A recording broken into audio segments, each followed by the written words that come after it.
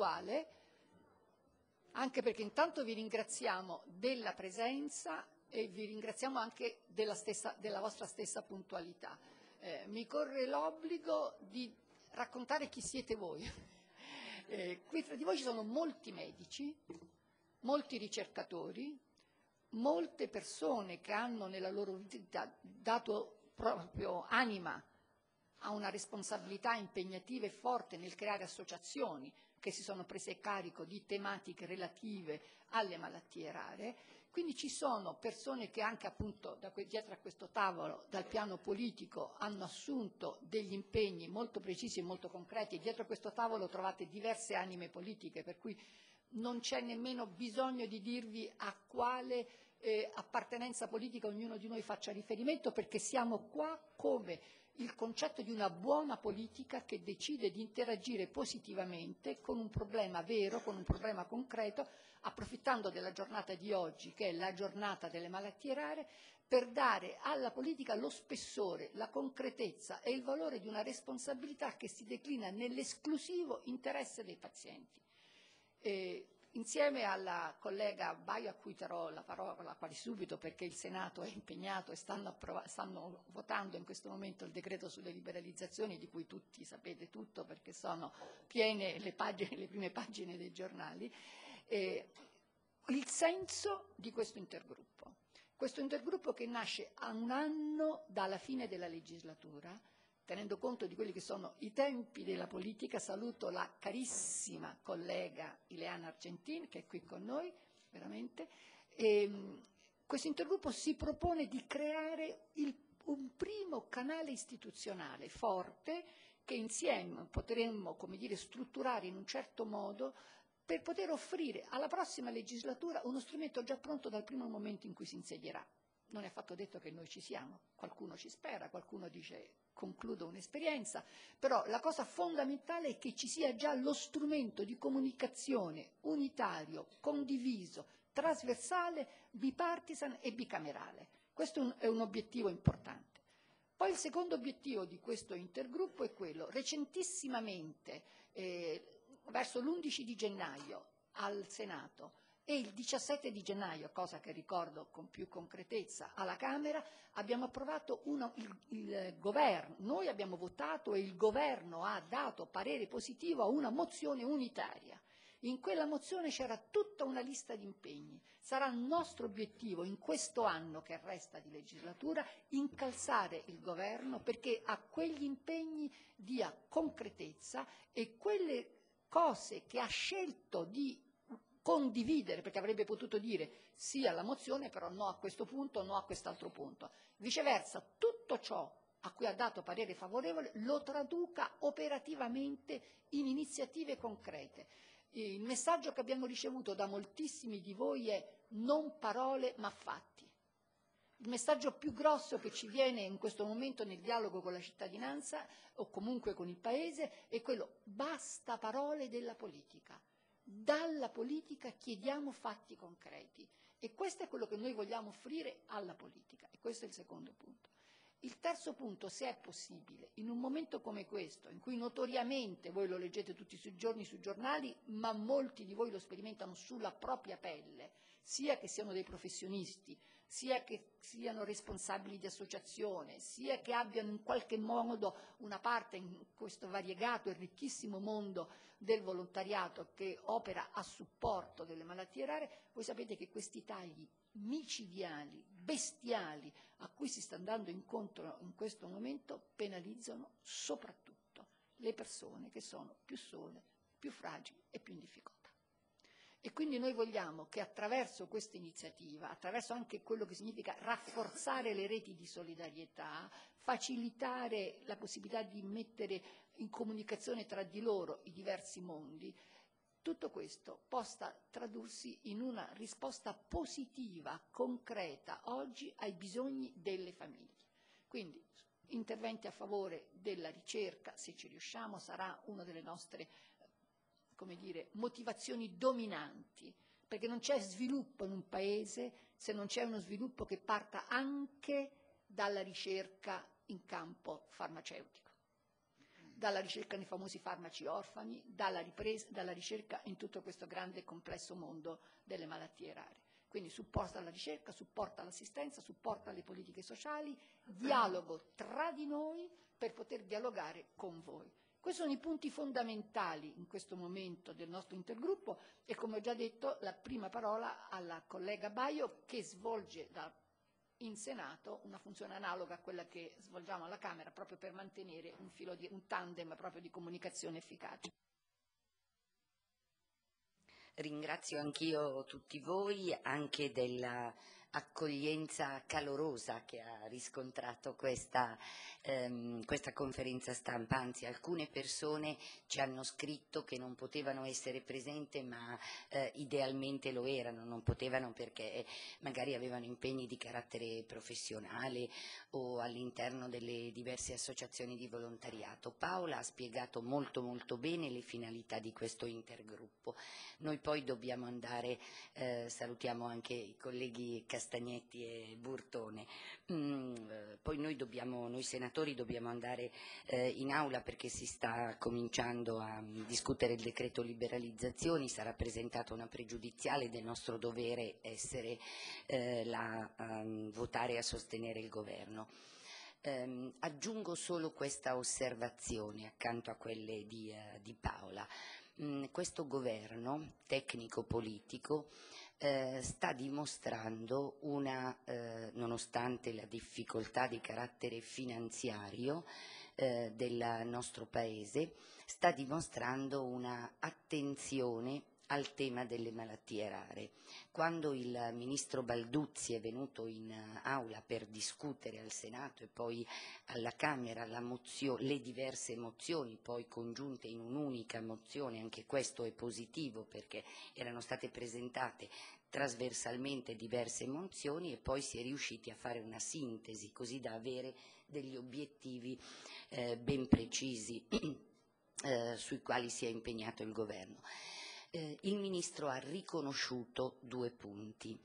Uno, la difficoltà oggi per il nostro Paese di aggiornare i livelli essenziali di assistenza. Lui eh, con un sorriso sulle labbra ha detto in fondo è da più anni che eh, l'aggiornamento giace nei cassetti dei diversi ministri che si sono eh, susseguiti voi capite la difficoltà di fronte alle carenze eh, finanziarie di aggiornare eh, i livelli essenziali. Eh, accanto a questa constatazione amara, lui però eh, non si è sottratto dall'assumersi un impegno preciso noi oggi insieme, visto che l'Aula del Senato votava all'unanimità la mozione, dobbiamo assumerci degli impegni, che non sono gli impegni di affrontare e risolvere il problema come vorremmo che venisse risolto, però sicuramente di fare qualche passo in avanti. Voi sapete che sul tema delle malattie rare eh, esiste un elenco di 109 patologie, da queste 109 patologie ce ne sono escluse alcune, per cui si rischia di creare anche una contrapposizione fra associazioni che è deleteria per il bene dei malati e delle loro eh, famiglie. Allora noi accogliamo le parole del Ministro istituendo questo intergruppo per dimostrargli che dopo l'approvazione delle mozioni alla Camera e al Senato, noi vogliamo fare questo passo in avanti insieme, insieme a voi, eh, il mondo della scienza, il mondo della ricerca, il mondo delle associazioni, insieme a voi dobbiamo e insieme all'intergruppo parlamentare dobbiamo individuare quelle priorità che possono essere realizzate e attuate prima della fine di questa legislatura. Un anno di tempo sono pochi mesi di lavoro, un anno è un tempo infinito per chi soffre. Un anno dal punto di vista parlamentare è un tempo limitato, lo sappiamo benissimo, e questo cozza rispetto all'affermazione che ho fatto prima. Invece l'obiettivo, quando ci siamo confrontati con Paola e con alcuni di voi, ci siamo proprio detti sappiamo di non poter cambiare il mondo. Lo sappiamo benissimo, è arrivata anche Maria Pia Garavaglia che è un'altra persona non solo che fa parte dell'intergruppo ma che ha lavorato molto e che sta lavorando molto con, con noi. Allora, il primo obiettivo è questo è anche quello di coordinarci con l'altro obiettivo che si era dato il Ministro e che ha annunciato in aula e che sappiamo sta realizzando, quello di dar vita ad un momento di coordinamento all'interno del gabinetto del Ministro. Quindi credo che questo possa essere un tempo limitato ma magico uso questo termine inappropriato, ma per creare dentro di noi una speranza concreta, non una speranza ideale, una speranza concreta. Anche perché solo grazie a questa rete di collaborazione io credo che possa sortire qualcosa di positivo, in linea con la volontà del Ministro, in linea con la volontà del Parlamento, del mondo della scienza e della ricerca e delle associazioni.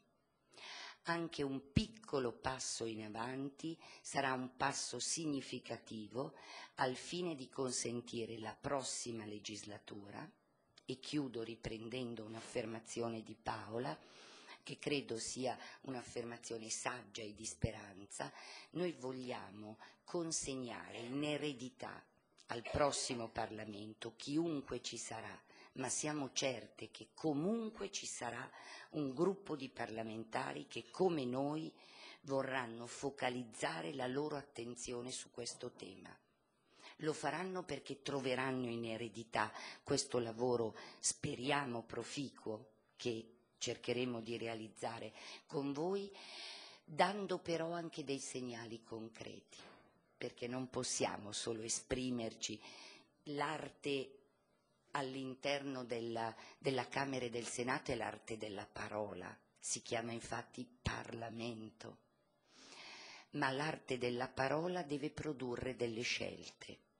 Questo governo ha un merito, magari non ci soddisfa completamente, però ha il merito di saper scegliere Oggi i cittadini ci chiamano a delle scelte, oggi il mondo delle malattie rare ci chiama a fare qualche scelta in più e noi siamo qui per dirvi che da domani abbiamo utilizzato la giornata mondiale eh, sulle malattie rare per annunciare questo gruppo. Al Senato noi per il momento, dico per il momento perché ancora questa mattina è arrivata una nuova adesione, siamo 23 colleghi che hanno aderito al Senato, è solo l'inizio, è l'inizio di un percorso perché noi puntiamo a fare un gruppo ampio di persone per dimostrare la trasversalità, anche la forza. I numeri alcune, alcune volte danno la forza di questo e poi per individuare un gruppetto che lavorerà, una sorta di cabina di regia eh, che lavorerà insieme a voi. Um, il saluto che vi faccio, eh, c'è con me anche la collega Contini che ha aderito fin da subito e che ci dà anche una prospettiva non solo nazionale ma fortunatamente anche internazionale su questo tema eh, è, è, fondamentale eh, una eh, attenzione ai protocolli internazionali, agli studi eh, che a livello mondiale ci sta a mi permetto di scappiamo, scappiamo da domani eh, in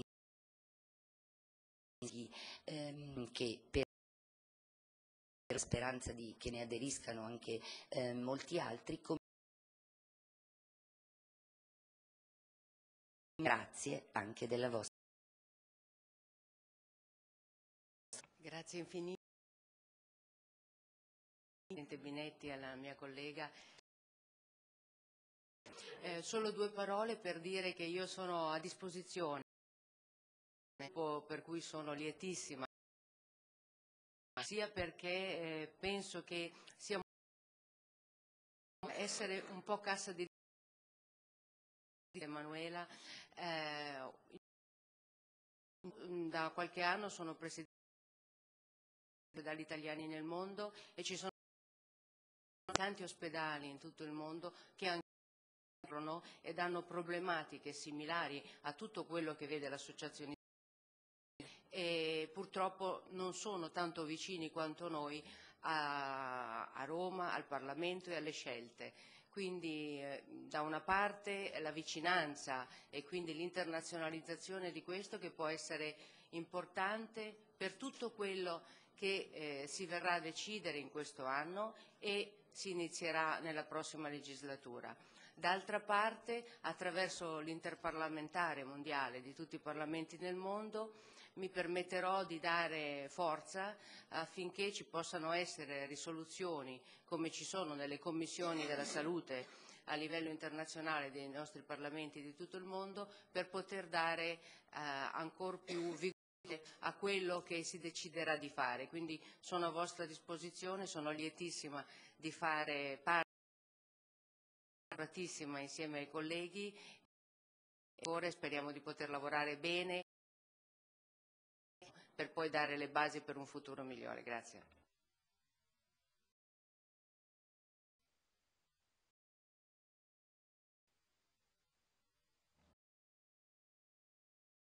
Nessuno di noi la mattina si sveglia e pensa a quello che ha fatto durante la giornata. Buono, si fa un po' un bilancio. Io credo che in questo della legislatura per poter fare qualcosa di concreto, credo che quello che ha fatto il Parlamento, i governi, sia quello in campo sanitario. È un po' un bilancio di noi, ci siamo anche per cercare di portare a casa qualcosa, per vedere sul cambiamento, altrimenti non ha senso il lavoro di Ebbene, credo che al di là della terapia, delle terapie del dolore, le cure palliative, il sanitario non sia stato fatto abbastanza, per usare un eufemismo. E credo che quello della, di queste malattie potrebbe essere l'occasione che il governo non dovrebbe perdere per mettersi un fiore all'occhiello e dire abbiamo fatto qualcosa nei confronti di bambini e malattie di cui non si cura nessuno, perché la politica non ha giovamento perché non porta voti, le industrie farmaceutiche non hanno giovamento perché non hanno interessi e quindi si chiamano malattie orfane proprio perché sono figlie di nessuno. Credo che il punto che si dovrebbe sostenere col governo e qui veramente credo che l'intergruppo dovrebbe avere la forza e l'energia di farsi rispettare dal governo e di sottolineare che è qualcosa che sta a cuore a tutti. Io conosco perché ho fatto il ginecologo e sono ancora ginecologo e quindi ho fatto diagnostica per immagine e diagnosi prenatale. Conosco il dramma di queste famiglie quando non si capisce di che cosa si tratta, di sintomi specifici, i viaggi delle speranze.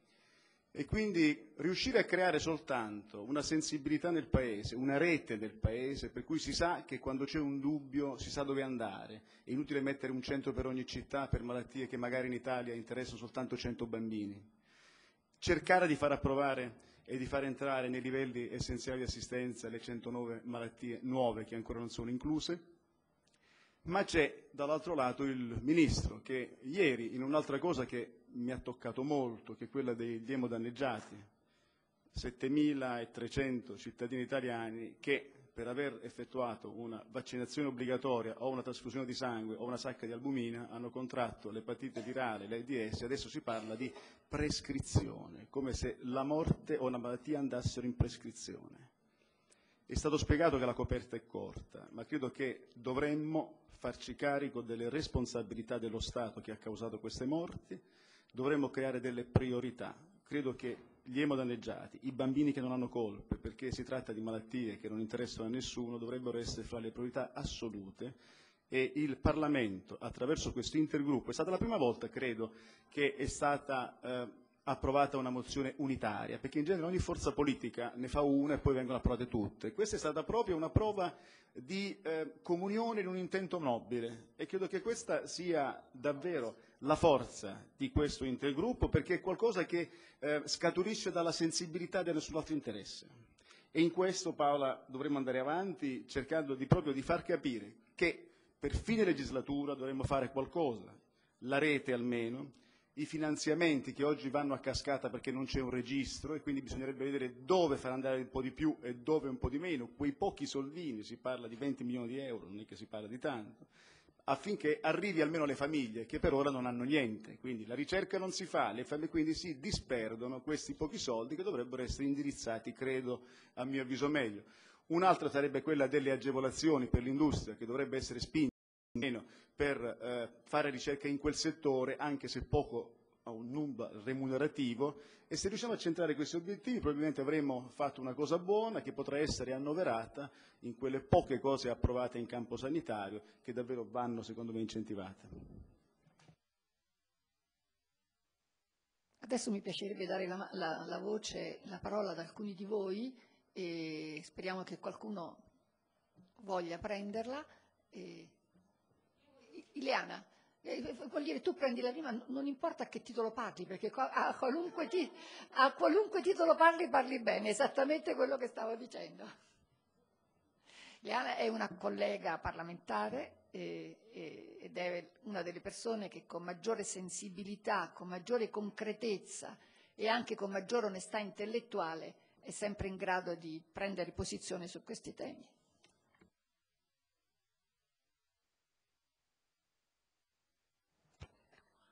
Sì, eh, spero che si senta abbastanza alta. Io sono venuta questa mattina a questo incontro, devo dire la verità, perché è invitata da Paola Biretti, nel senso che credo molto che Paola sia una persona capace e vera nel fare le cose, che non si nasconda generalmente dietro tante parole, ma che punti a fartana, come si dice quando si gioca a nascondino. Per cui eh, la voglia di venire qui un pochino prima di una giornata che sarà molto lunga oggi in Parlamento è stata proprio quella di finalmente forse concretizziamo qualcosa sull'argomento. Sulle malattie rare devo dire che ultimamente, nell'ultimo anno, anzi forse un paio d'anni, c'è stata una grande demagogia, lo voglio dire io prima che qualcuno di voi lo dica, è stato strumentalizzato da attori famosi o da personaggi illustri che poco hanno fatto rispetto al bisogno e molto hanno detto. E quindi l'idea di questo gruppo mm, in qualche modo mi sollecita a pensare che ci saranno delle risposte, fosse solo culturali, nel senso che finalmente risolleviamo la questione in modo pulito e dignitoso per le persone che hanno dei deficit che vengono utilizzati molte volte in modo vergognosamente, come dire, ehm, proprio di immagine.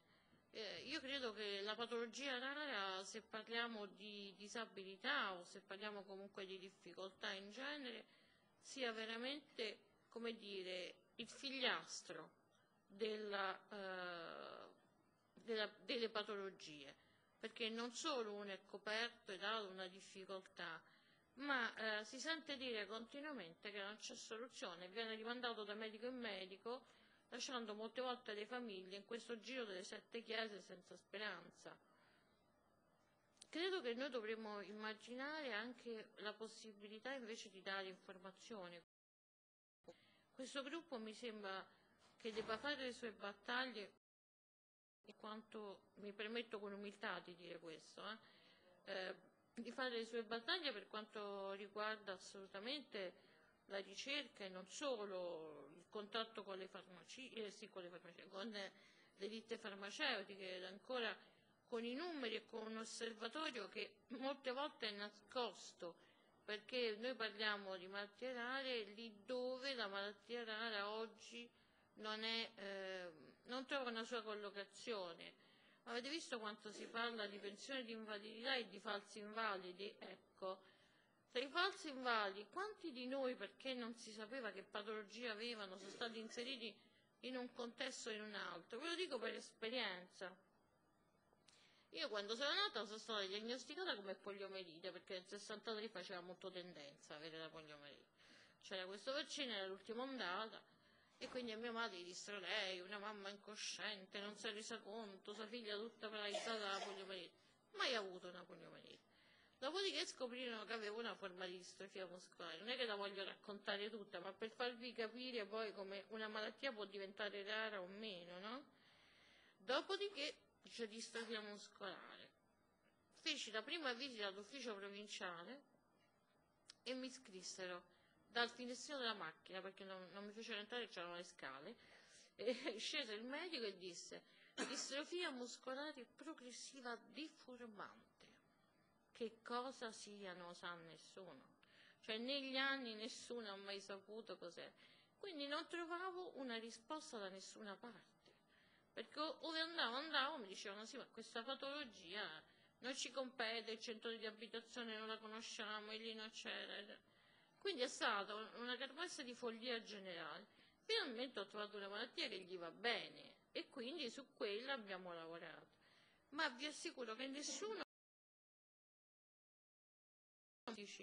in questo periodo sono inseriti in contesti che molti ragazzini borderline che non hanno sono inseriti nel mondo della disabilità per nulla cioè il raro, quello che non si conosce fa talmente paura o meglio si cerca talmente di contenerlo che si stanno facendo grandissima confusione in questo momento su queste cose per cui io credo Paola che al di là di tutto hai avuto l'idea di fare una vera, cioè importante, che non siano eh, soltanto per il gusto, diciamo, eh, di trovare una soluzione.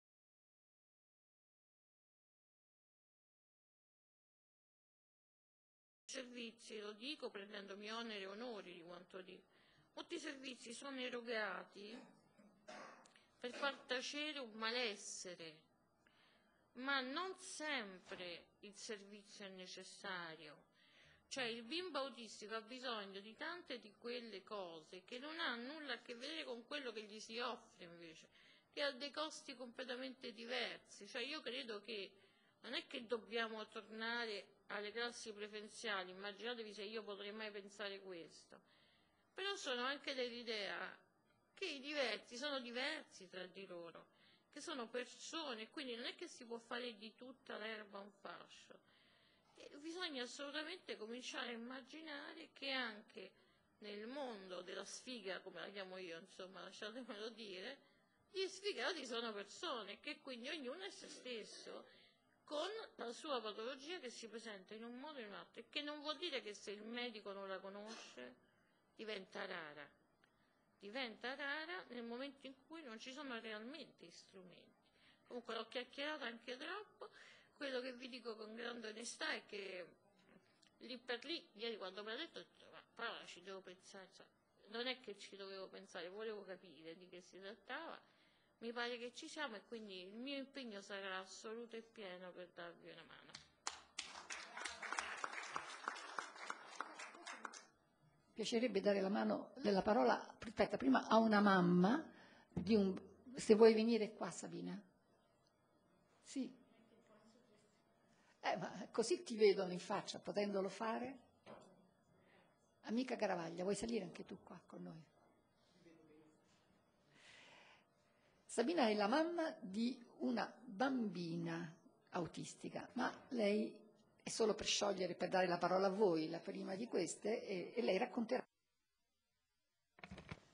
Sì, io vi ringrazio e mi scuso. Innanzitutto sono veramente contenta come genitore che finalmente, ecco, dopo tanti anni è rinato un impegno, ci conosciamo da una vita, Maria Pia Caravaglia, come peraltro con Ileana Argentini. Però devo dire, come genitore, in questo momento politico, storico che sta vivendo l'assistenza, questo gruppo inter, eh, parlamentare è nato proprio come una boccata di ossigeno, insomma, ci siamo sentiti finalmente i genitori un attimo eh, più appoggiati perché è un momento, come dicevamo, estremamente difficile. Non voglio rubare molto tempo. Io ho una figlia autistica di 48 anni, all'età di Leana Argentin E per sette anni, eh, dal 63 al 70, ho fatto quello che facevano tutti i genitori, che facciamo ancora oggi tutti i genitori. Eh, Questa figlia era particolare, eh, un po' con ritardo alle sue funzioni principali, poi aveva un atteggiamento di rifiuto proprio corporeo. Tutte le mamme no, cerchiamo di accarezzare il bambino, soprattutto quando dorme nella sua culla, lei con le manine mi respingeva, non, la- non conosceva il pericolo, non aveva la sensazione del freddo, del caldo e quindi ci tormentavamo. Poi era bellissima figlia da un punto di vista fisico, era una bambina stupenda. Perché, che cos'ha, che non sa, e abbiamo fatto quello che fanno tutti i genitori, quindi da un professore all'altro fino a quello che è l'università che rappresenta per tutti noi il massimo della espressione e quindi della risposta adeguata. Ma anche all'università ho fatto due periodi di osservazione di 15 giorni, usavano così a quell'epoca, non so adesso, dopodiché stretti nelle spalle torni il prossimo anno.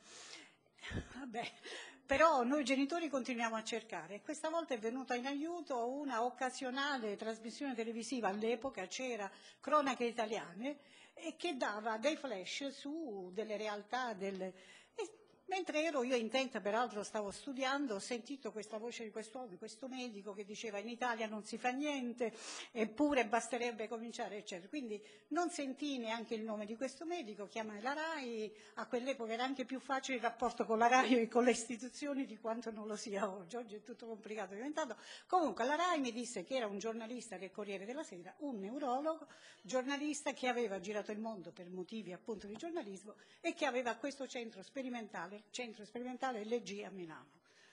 Sono andata a Milano, eh, naturalmente con un po' di riserve perché uno che, che ha visto tanti luminari e l'università che ha detto non ti fanno una diagnosi, non si sa che cos'è, sono andata un po' perplessa, però ci sono andata. E fu la prima volta che io sentii parlare di autismo e io dissi, professore, dottore, ma che vuol dire? E lui disse, non se ne preoccupi. Beh, in effetti dico, io non voglio neanche preoccuparmi, a me quello che interessa sapere se eh, il lavoro che lei fa è, può essere utile per mia figlia. Lui mi disse subito, dice, guardi, io prima di essere medico sono un padre, lei ha tre figli, vive a Roma, io sono a Milano, il centro, come fa? E io sono sempre stata linguacciuta, insomma, che all'epoca dissi che ancora ero in grado io di badare come gestire la mia famiglia, a me quello che interessava sapere se quello che lui faceva era importante e poteva fare. Quindi un medico sconosciuto, per dire, nell'ambito della comunità scientifica, insomma, quindi non riconosciuto, avversato da molti, ma che ha iniziato un lavoro estremamente importante, successivamente poi riconosciuto anche da Cesar Bianchi a Milano, eccetera. È stato un intervento di tipo psicorelazionale, una psicoterapia particolare incentrata, come dire, studiata su un bambino che non parlava, insomma, quindi era un intervento mirato. Ma ciò che è stato veramente importante, ripeto, non è tanto la metodologia quanto il metodo di lavoro, cioè il fatto che oggi Maria Pia parliamo di presa in carico, ma Lucisano nel 1970, 40 anni fa, parlò di presa in carico globale, quindi non era soltanto il lavoro individuale che si faceva col bambino nella stanza, peraltro dove io potevo anche essere presente, quindi non escludeva perché il problema era partecipare a certi strumenti conoscitivi perché la famiglia li potesse utilizzare, ma il discorso nasceva anche dalla necessità che questi bambini non dovevano stare ghettizzati. Quando io dissi, vabbè, ma quando vado a Roma, tre volte alla settimana vengo a Milano, ma mi- quando vado a Roma la porto a Scuola Serena, che avevo sentito dire ma che io non conoscevo. Lui mi disse, che cos'è Scuola Serena? Ma dico, un centro dove ci sono questi bambini. E che vuol dire questi bambini? Quella Lisa deve andare a scuola come tutti. Abbiamo iniziato nel 70, è stato un periodo stupendo della nostra vita, perché io e un altro paio di genitori che avevamo i bambini a Milano con un altro, insieme ad un gruppo di medici che veramente hanno fatto la storia, lasciarono l'università, il professor Bollea negli anni 70, parlo del professor Massimo Ammaniti, parlo di, An- di Antonucci che purtroppo non è più con noi, Fernando Save, quindi parlo di un gruppo di medici che appunto erano convinti che la riabilitazione non fosse un momento delegato all'interno di un locale dove peraltro nessuno aveva accesso e nessuno capiva. La riabilitazione non poteva prescindere dalla socializzazione, quindi i bambini diversi devono stare insieme agli altri e nell'ambito, come diceva giustamente eh, Ileana, uno comincia a capire quello che bisogna dare perché il discorso non è certamente unilaterale.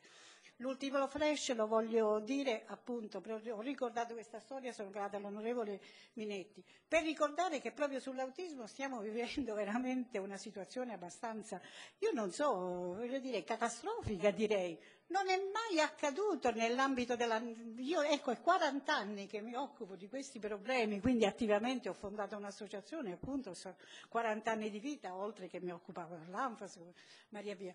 Però assolutamente non è mai accaduto che un istituto superiore di sanità licenzi delle linee guida che danno un solo tipo di intervento, ma questo minano la libertà individuale, la scelta, eh, ma, voglio dire, è veramente, non ci sono termini per dire eh, questa cosa quanto veramente è pericolosa tra l'altro, perché voglio dire, ammesso che anche faccia bene un tipo di intervento, non è così, perché abbiamo già detto prima che ogni bambino ha bisogno di un suo intervento, ogni bambino è un'entità che vive all'interno di una realtà, è fatto di carne, di ossa, di spirito, di mente, quindi sono tanti gli aspetti che vanno presi in considerazione, quindi non è possibile, ma ammesso anche così per una ipotesi eh, balorda che questa cosa possa andare bene, ma preparare il personale è una questione lunga, di vita. Come si fa a preparare tutti gli operatori? A prepararli, non ad addestrarli. Qui viene minato il concetto di fondo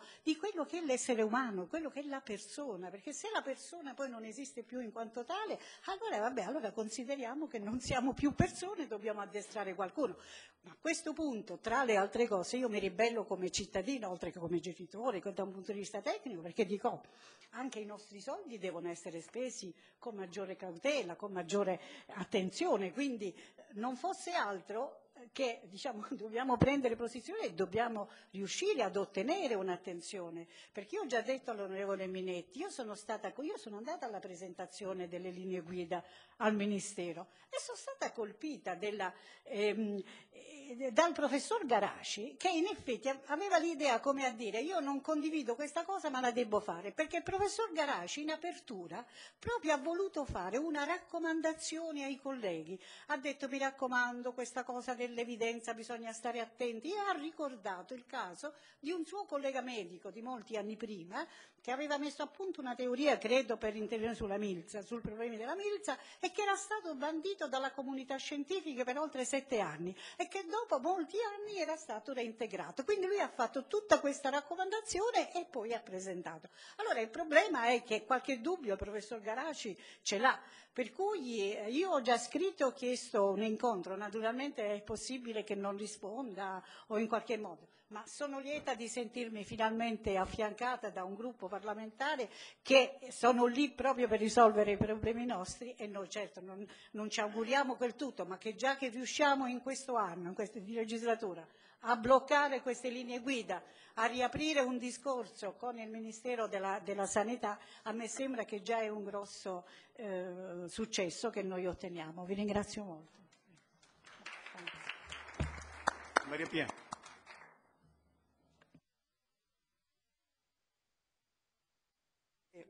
Poi vado perché al Senato alle 11 votiamo e chiedo scusa di questo. Parlo perché ho sentito Sabina e dopo di te perché hai cercato di ricordarci che troppo poco abbiamo fatto per ora, vuol dire che abbiamo segnato il passo.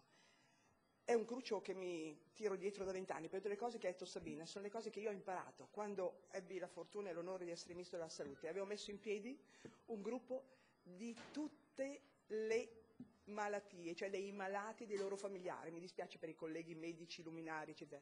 Non avevo fatto un gruppo dove ci fossero i tecnici, perché ai tecnici avrei poi potuto chiedere la sintesi per cercare di fare servizi.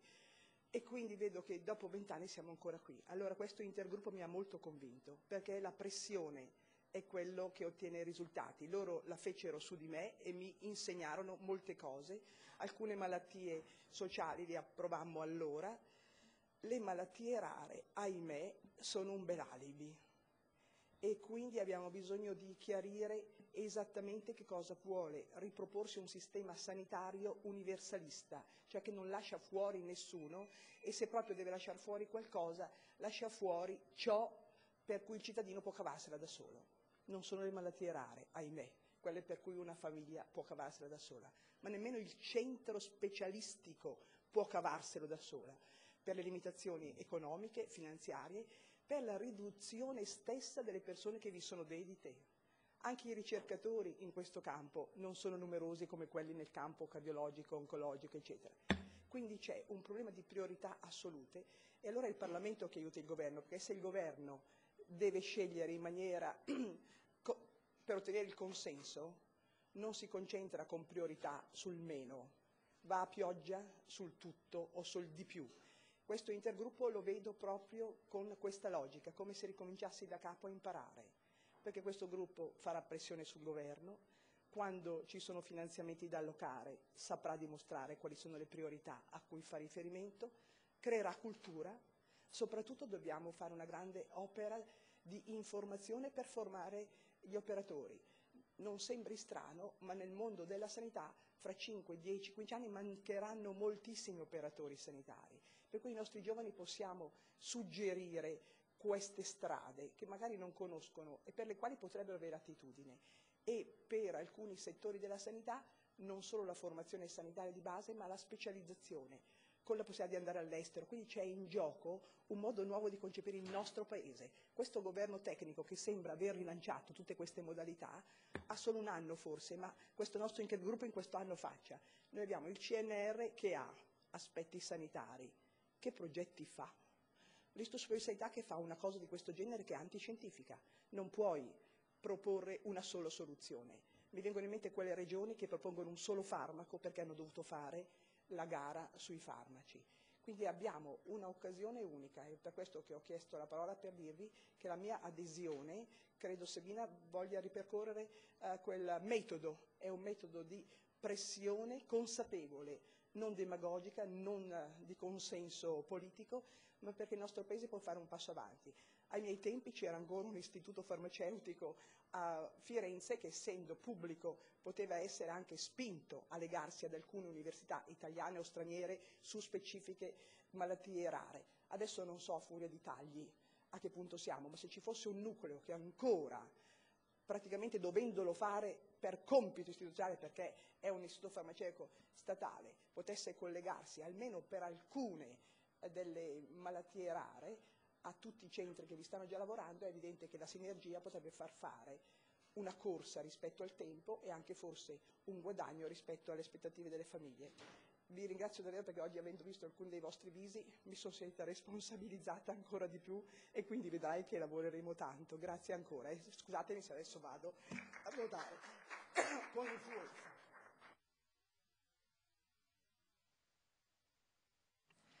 Eh, sono Paola Mazzucchi, eh, sono un genitore di un ragazzo rarissimo di 23 anni con una patologia gravemente invalidante, un ragazzo molto brillante ehm, e sono qui mh, come rappresentante della Consulta Nazionale delle Malattie Rare perché eh, da molti anni come eh, familiari eh, di eh, malati, come pazienti, come rappresentanti di eh, decine di eh, associazioni eh, dei pazienti e dei malati rari, abbiamo portato avanti, abbiamo cercato di portare avanti un lavoro proprio per individuare le priorità, le criticità, proprio perché eh, già sul territorio abbiamo eh, quotidianamente eh, la consapevolezza di che cosa significa avere una malattia rara rispetto al discorso delle commissioni di invalidità che non le conoscono e non le riconoscono.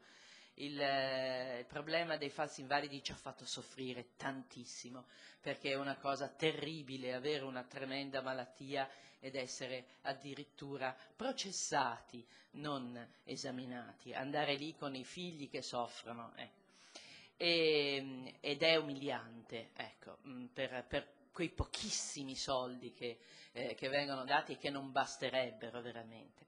Abbiamo lavorato quindi eh, vedendo il discorso, eh, individuando diverse criticità e sapendo che eh, proprio quando mancano le risorse è fondamentale arrivare a un discorso di differenziazione. Mi è piaciuto tantissimo il suo intervento, proprio perché io dico se, eh, come, come, siamo sommersi dalla spazzatura se non siamo capaci a fare la eh, raccolta differenziata, eh, se noi compriamo un enorme bidone per raccogliere le pile piccole, quelle del, mh, degli orologi, facciamo uno spreco e non facciamo neanche un buon servizio. Noi a Genova come, come, gruppo di ammalati rari avevamo presentato un libro bianco in cui avevamo messo in copertina la, il disegno della storia della volpe e della, e della cicogna. Quando la volpe offre un piatto di minestra alla cicogna è una presa in giro. Quando sono offerti dei servizi che non possono essere accessibili agli ammalati rari, tante volte la famiglia, il genitore si sente preso in giro. Quasi sarebbe meglio che non ci fossero i servizi, piuttosto che dei servizi che sono inadeguati. Io so di una mamma che ha pianto in Campania perché non gli volevano riprendere indietro la carrozzina che non era adatta a suo figlio, perché la sindrome di Leschnaian è tutta particolare, non può essere standardizzata. Ecco, questo dei discorsi dei progetti di lavoro, eh, delle linee guida eh, per costruire dei progetti individualizzati e già le leggi ci sono e questo eh, è tutto un lavoro che è stato fatto. Allora, io sono qui a ditissima di, della nascita di questo e eh, però ecco eh, il collegamento con le associazioni hanno già fatto anche il, il lavoro e la fatica di specialità, mantenendo specificità. Ed è stata una fatica anche per noi, perché è faticoso riuscire ad andare d'accordo. A Questo è un patrimonio quindi eh, come Consulta Nazionale delle Malattie Rare, istituite eh, nel, nel, nel 2006, continuiamo a essere buttare via un, un cammino e vogliamo riproporre a fianco, perché eh, come genitori a noi non importa il discorso di trasversalità, a fianco di tutti coloro che lavorano per la persona con una malattia, sapendo che se è una malattia rara è diversa e se è diversa deve essere trattata come diversa. L'omogeneizzazione è un disastro. Grazie. Grazie, grazie infinite della testimonianza. Sì. Dici, dici chi sei. Sono Giuseppe Zampino, sono un pediatra genetista e sono responsabile di uno dei centri di malattie rare, ma anche sono parte del direttivo della Società Italiana di Malattie Genetiche Pediatriche e Disabilità Congenite. Questo gruppo è, è, molto interessante, ma ha anche molto da fare dal punto di vista di rompere alcune barriere. Per esempio, malattia rara non può essere una malattia regionalizzata, assolutamente, ma non può essere in alcuni casi neanche nazionalizzata. Se prendiamo per esempio le progerie, sono 10 in tutta Europa, per garantire i diritti delle progerie c'è bisogno che ci sia un centro competente in tutta Europa. Paradossalmente ora come siamo abbiamo più centri di malattie rare che, che malati rari all'interno delle singole regioni e non può andare. L'altra cosa, una, una cosa che forse è necessario riflettere è che le malattie rare sono 5.000 e non 300-400 e quindi non può essere discriminante il fatto che chi ha la sindrome di Kaufman non è riconosciuto e chi ha la sindrome di Noonan è riconosciuto. Per forza di cose bisogna definire il raro e il rarissimo su tutto quanto allora a questo punto uno dice vabbè ma non ci sono risorse, in realtà è vero, ogni malato raro è una caratteristica specifica e bisogna incidere molto sull'esiologia e sulla gestione della patologia. Però se immaginiamo le distrofie muscolari, la genetica ha distinto una quantità di 100 geni, 100 condizioni diverse, ma le patologie comuni a queste condizioni sono quattro e sono la patologia respiratoria, nutrizione orale e, nutri- e gastroenterologica. eh, sono comuni a tutte, a tutte 80 le condizioni. Quindi se io riuscissi a fare centri che, che riescono a gestire la complessità a livello eh, regionale e territoriale, io garantisco l'assistenza per que tutte quelle persone complesse, per tutte quelle che sono i problemi trasversali, sanitari, ma anche a questo punto di più, perché la disabilità non è solamente un problema sanitario, ma è multisettoriale, quindi ha un ripercorso sociale, quindi avrei bisogno di avere dei centri nuovi pensati come centri sociosanitari in cui si prende in carico dal punto di vista globale il paziente e si prende in punto di vista globale partendo dal piccolo fino a quando diventa adulto, perché una del, delle situazioni in cui mi trovo di, sempre di fronte è che il bambino con la sindrome di Down è Down fino a 20 anni, dopodiché è normale perché nessuno gli fa più i controlli, vale a dire nessuno supervisa il suo stato di salute. Quindi la complessità è uno degli elementi forti che deve essere meglio capita, ma deve essere dal punto di vista economico, nel senso che va a combattere con l'amministrazione di ogni ospedale, perché l'amministrazione dell'ospedale ha un budget e il bambino complicato o meno di un bambino che non ha problemi, o meglio, che ha problemi più modesti. Un bambino con una sindrome malformativa come la Lange come DRG per un day hospital prende la metà di un bambino allergico, asmatico o con un difetto delle infezioni di una cistite. Allora, in realtà, per organizzare tutti i controlli di un bambino con la sindrome cornea Range, io ho bisogno di mettere attive un sacco di risorse e oltretutto devo attivare e parlare e discutere con tutti i colleghi per trovare una strategia risolutiva specifica per il bambino Mario che ha Cornelia De Lange. E questo significa un'enorme quantità di spesa. In America l'hanno definita, sono 5 ore di lavoro per ogni bambino complicato. Il mio ospedale mi dà lo di un bambino che non ha nulla, cioè che, o meglio, che fa i bilanci di salute normali. A questo punto, se io voglio fare l'interesse del bambino, devo, fare, devo andare contro l'interesse dell'ospedale. E questo deve essere. Io devo garantire l'interesse del bambino, che è lo stesso interesse diciamo, i, i punti salienti sono e in alcuni modi anche rompere una nazionalizzazione, se vogliamo parlare di malattie delle malattie rare, con particolare attenzione, specie al marziano, il bambino marziano. È chiaro che la mamma non ha nessun background culturale su cui riconoscere. Sono proprio quelli che non hanno neanche delle associazioni di genitori con cui confrontarsi. È un'altra cosa pensare che ci siano molti centri di, di, di gestione di bambini ad alta complessità che abbiano dei riconoscimenti economici, come del resto è riconosciuto l'economia di un farmaco raro. Il farmaco raro costa tanto perché molte persone devono lavorare per arrivare a una soluzione di quel farmaco. E ugualmente nella gestione di un bambino complesso e raro c'è bisogno di tante attenzioni che hanno bisogno del loro riconoscimento. Scusate, mi sono prolungato, grazie. Grazie infinite. Prego. Io volevo ringraziare l'onorevole Binetti per questo... Eh, si sente? Mi chiamo Bruno Morabito, sono il presidente di Divento Grande Onlus, che è un'associazione di genitori molto più giovane dell'associazione di genitori quarantennale della, della signora che mi ha preceduto. Eh, noi focalizziamo la nostra attenzione sugli anni dell'adolescenza, eh, realizziamo iniziative eh, le più disparate da eh, diciamo, ippoterapia, onoterapia, musicoterapia, tantissime attività eh, diversificate a seconda delle diverse esigenze dei ragazzi eh, che seguiamo. Abbiamo circa 75 ragazzi e eh, siamo assolutamente convinti sia eh, del eh, principio di fondo che sta alla base di questo eh, interessante dibattito, cioè della necessità che vi sia una stretta collaborazione fra enti, associazioni e istituzioni per uno scopo comune, cioè quello di aiutare eh, le famiglie eh, che vivono questa difficoltà quotidiana a superare eh, le difficoltà e a non sentirsi isolati e soli di fronte al problema, un problema eh, che condiziona non soltanto la vita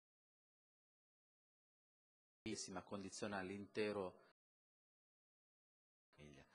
Eh, noi si linea eh, con quanto detto dall'onorevole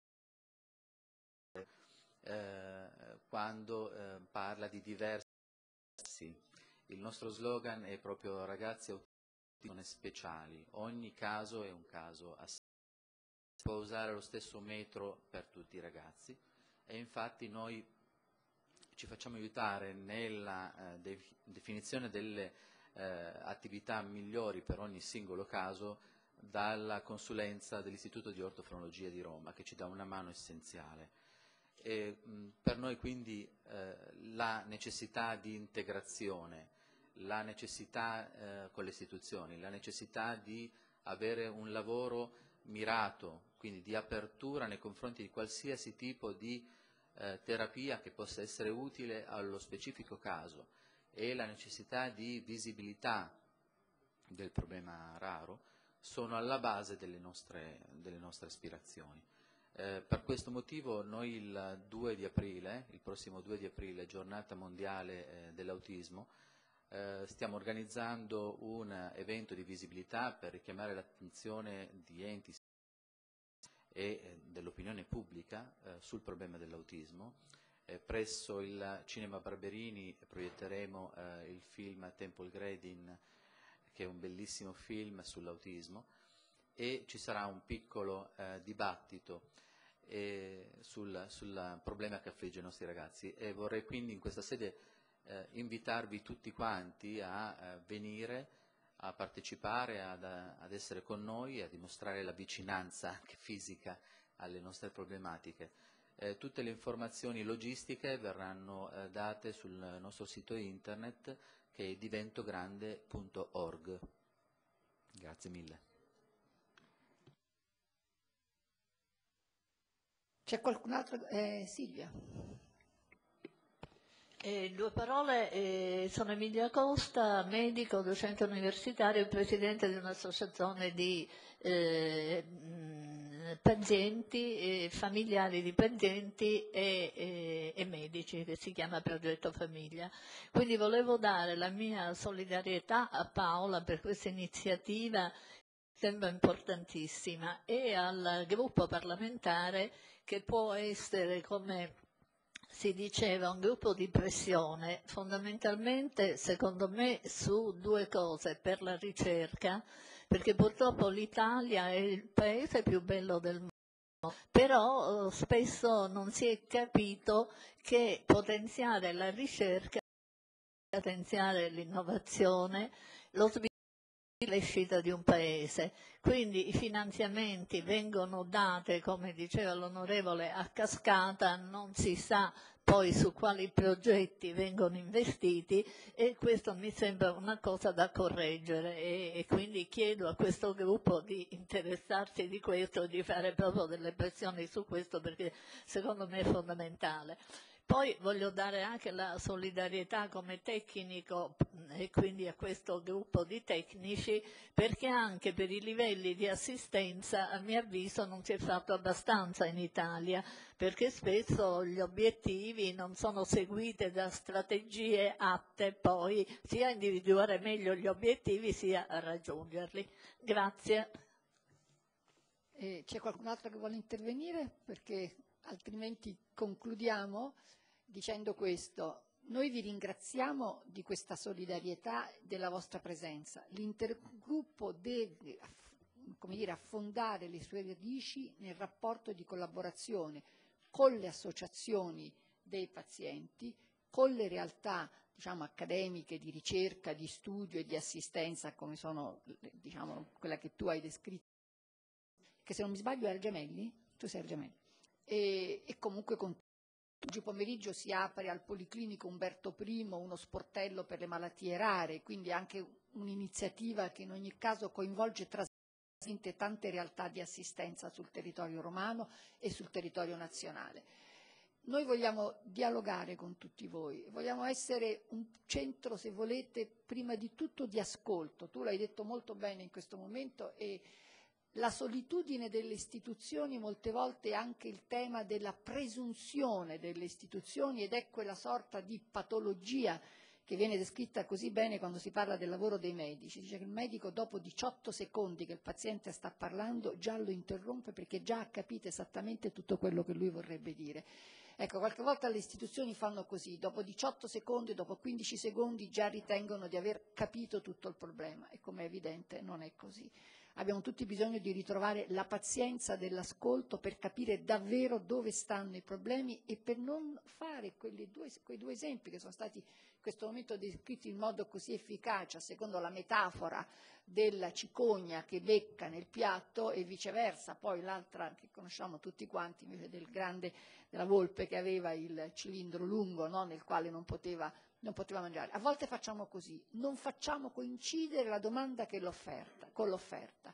E quando la domanda è alta, variegata e spesso ha delle sfumature drammatiche di un certo rilievo e l'offerta è necessariamente limitata e ci dicono necessariamente sempre più limitata, allora la questione etica sta anche nella scelta concreta in cui il punto di richiesta intercetta il punto di offerta il modello che tu hai disegnato, che tu hai descritto, che non è basato tanto sulla diagnosi, che presuppone la diagnosi diversa e quindi la differenziazione dei pazienti, ma poi cerca di, comunque le categorie attraverso le quali in qualche modo far convergere la qualità di alcune risposte. Tu hai fatto un discorso centrato su organi apparati, no? respiratorio, eh, digestivo, eccetera, eccetera, possono essere, possono essere modelli, ce ne possono essere tanti diversi. L'importante è che ci siano e che siano efficaci e ognuno di loro sia declinato con una parola che non è una parola banale, che è la ricerca vera dell'eccellenza. Un'eccellenza nella ricerca, un'eccellenza nell'assistenza, un'eccellenza nella solidarietà. Nulla potrebbe fare la politica, ma mi permetto di dire che nulla potrebbe neppure fare la ricerca se non ci fosse a monte la risposta organizzata di famiglie, di famiglie e di famiglie che hanno colto nel bisogno del figlio la istanza più forte da cui deve partire la buona politica, ma c'è sempre il bisogno reale quello che orienta le scelte. Se voi ci aiuterete, noi ci impegniamo in questo anno a ottenere, intanto vi faremo avere a tutti coloro che sono presenti qui, non so se c'è nella cartelletta, dovrebbe esserci nella vostra cartelletta la mozione che è stata approvata dal governo. Quindi voi potete leggerla nel senso più affettuoso del termine, potete anche correggerla, potete dirci questo va bene, questo non va bene, a questo avreste dovuto aggiungere anche questo. E noi cercheremo di lavorare in questa linea rafforzando i motivi più forti per, preme, per premere sul governo.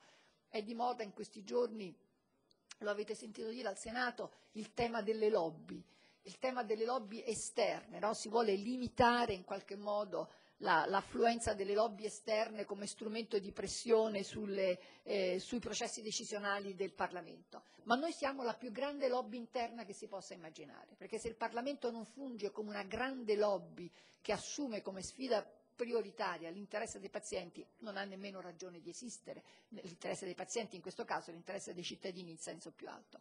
Quindi noi lavoreremo con voi e sul nostro sito cercheremo di mettere anche le iniziative che voi ci manderete in modo che possano costituire un punto di confronto e di convergenza. Eh, vi ringraziamo, eh, vi confermiamo questa cosa. Siamo sul piano dell'ascolto, ma non un ascolto inerte e non un ascolto passivo. Vi vorremmo dire esattamente quello che dite voi.